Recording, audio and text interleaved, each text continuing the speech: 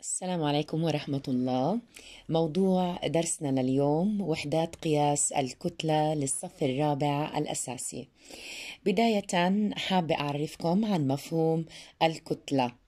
هي مقدار ما في الجسم من مادة. هناك أدوات لقياس الكتلة. الميزان ذو الكفتين. الميزان الإلكتروني وهو الأكثر استخداما في وقتنا الحالي. وحدات قياس الكتلة الطن ويستخدم لقياس كتل الأشياء الكبيرة جدا مثل حمولة طائرة وحمولة باخرة. الكيلوغرام وتستخدم لقياس كتل الأشياء المتوسطة مثل كيس أرز كيس سكر وصندوق برتقال. الكيلوغرام الكل بنعرفها وهي الأكثر استخداما من بين وحدات قياس الكتلة. الغرام تستخدم لقياس كتل الأشياء الصغيرة مثل خاتم من الذهب كرة تنس قلم حبر وكتلة تفاحة. اليوم إن شاء الله رح نتعرف على العلاقة بين وحدات قياس الكتلة. لنتأمل المدرج الآتي الذي يوضح وحدات قياس الكتلة. لدينا الطن الكيلوغرام والغرام. الطن يساوي ألف كيلوغرام والكيلوغرام يساوي ألف غرام. عندما نريد التحويل من وحدة قياس كبيرة إلى صغيرة نستخدم عملية الضرب والعكس نستخدم عملية القسمة. وللتحويل من طن إلى كيلوغرامات نضرب في ألف والعكس نقسم على ألف. لنتأمل الأمثلة الآتية. لدينا ثلاثة طن. نريد تحويلها إلى كيلوغرامات. من وحدة كبيرة إلى وحدة صغيرة نستخدم عملية الضرب. ثلاثة ضرب ألف يساوي ثلاثة آلاف كيلوغرام. لدينا عشرة طن. نريد تحويلها أيضا إلى كيلوغرامات. نضرب العشرة في ألف يساوي عشرة آلاف كيلوغرام. خمس وخمسين طن. ماذا تساوي بالكيلوغرامات أيضا؟ خمسة وخمسين ضرب ألف يساوي خمسة وخمسون ألف كيلوغرام. الآن لدينا ستة آلاف كيلوغرام. نريد تحويلها إلى طن. العملية الآن عكسية. من وحدة صغيرة إلى وحدة كبيرة نقسم هنا على ألف.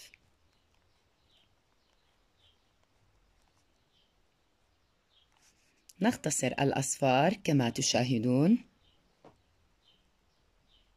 فيكون الناتج ستة طن أي أن ستة آلاف كيلوغرام تساوي ستة طن. لدينا مئة وسبعون ألف كيلوغرام نريد تحويلها إلى طن من كيلوغرام إلى طن أيضا العملية. قسمة نقسم على ألف. نختصر الأصفار. فيكون الناتج 170 طنا أي أن 170 ألف كيلوغرام تساوي 170 طن.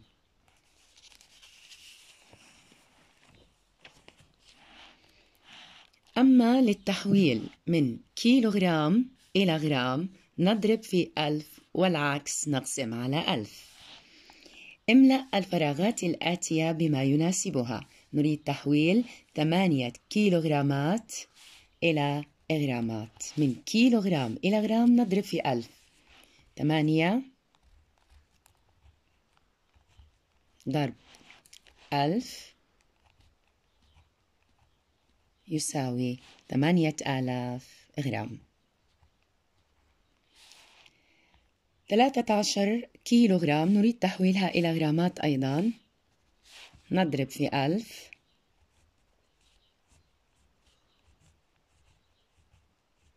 فيكون الناتج ثلاثة عشر ألفا. ثلاثة عشر ألف غرام. إذا ثلاثة عشر كيلو غرام تساوي ثلاثة عشر ألف غرام. لدينا اثنان وخمسة بالعشرة كيلو غرام نريد تحويلها إلى غرامات نلاحظ هنا وجود الفاصلة العشرية. نضرب في ألف كما لو كانت الفاصلة غير موجودة. اثنان وخمسة من عشرة ضرب ألف.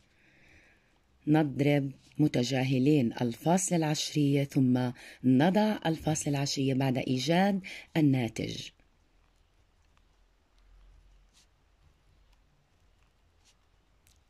هنا لدينا منزلة عشرية واحدة نضع الفاصلة العشرية بعد منزلة من اليمين إلى اليسار. نعد منزلة فتكون الفاصلة العشرية هنا. فيكون الجواب 2500 غرام.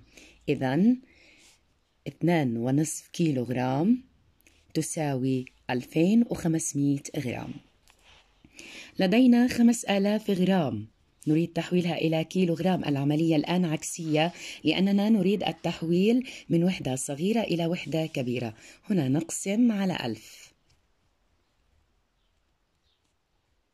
نختصر. الأصفار كما رأينا سابقا وتعلمنا سابقا أيضا يكون الجواب 5 كيلوغرام. لدينا 1600 غرام. نريد تحويلها إلى كيلوغرامات. نقسم على 1000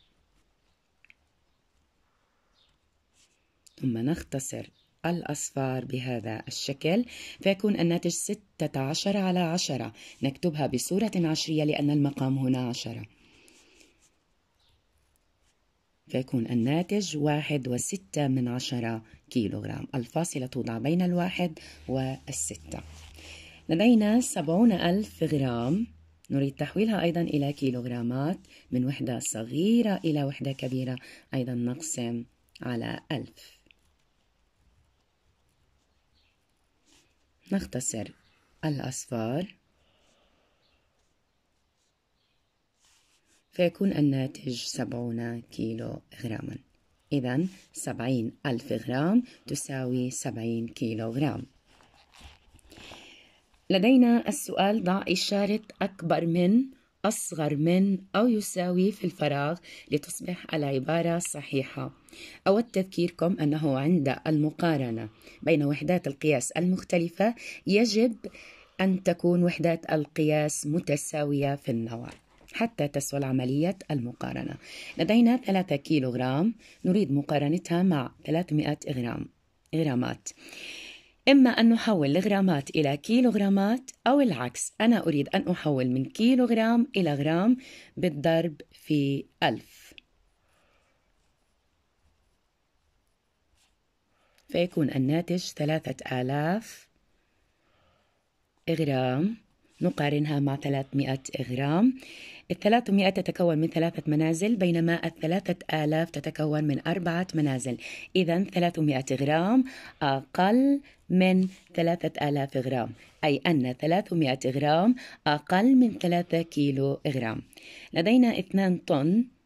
نريد مقارنتها مع 2000 كيلو غرام. نحول من طن إلى كيلو غرام لتكون وحدات القياس متساوية. نضرب في ألف فيكون الناتج 2000 كيلو غرام. 2000 كيلو غرام تساوي 2000 كيلو غرام أي أن 2000 كيلو غرام تساوي 2 طن. الإشارة هنا المساواة. لدينا 4 كيلو غرام نريد مقارنتها مع 440 غرام. نحول من كيلو غرامات إلى غرامات بالضرب في ألف أيضاً. لأن الكيلوغرام الواحد يساوي ألف غرام. الناتج أربعة آلاف غرام. أيضا هنا ثلاثة منازل في الأربعمية وأربعين بينما في الأربعة آلاف غرام يوجد أربعة منازل. أربعمية وأربعين غرام أقل من أربعة آلاف غرام. أي أن أربعمية وأربعين غرام أقل من أربعة كيلو غرام والآن لدينا السؤال رتب ما يلي تصاعديا. تصاعديا من الأصغر إلى الأكبر. لدينا 4200 كيلوغرام ثلاثة طن وثمانية آلاف كيلوغرام. حتى تسهل المقارنة يجب أن تكون وحدات القياس هنا متساوية. كيلوغرام لدينا ولدينا طن ولدينا هنا كيلوغرام. أريد تحويل ثلاثة طن إلى كيلوغرام من خلال الضرب ونحول إلى كيلوغرامات. من خلال الضرب في ألف نضرب ثلاثة طن في ألف. فيكون الناتج ثلاثة آلاف كيلوغرام. جميعها الآن أصبحت بالكيلوغرام. لدينا أربع آلاف ومئتين كيلوغرام ولدينا ثلاثة آلاف كيلوغرام ولدينا أيضا ثمانية آلاف كيلوغرام. الآن أصبح سهلا علينا أن نرتبها تصاعديا. جميعها تتكون من أربعة منازل نقارن من اليسار إلى اليمين. منزلة منزلة لأنها جميعها تتكون من أربعة منازل. أربعة ثلاثة ثمانية. الثلاثة أقل من الأربعة والثمانية. إذا ثلاثة آلاف كيلوغرام يكون ترتيبها الأول في الترتيب التصاعدي ثم يليها الأربعة لأنها أقل من الثمانية. فيكون أربع آلاف ومئتين كيلوغرام أقل من ثمانية آلاف كيلوغرام. ثمانية آلاف كيلوغرام تكون هي الأكبر فيما بينها. إذا الترتيب التصاعدي كما يلي. ثلاثة آلاف كيلوغرام والتي تمثل ثلاثة طن من أصل السؤال. يليها أربع آلاف ومئتين كيلوغرام.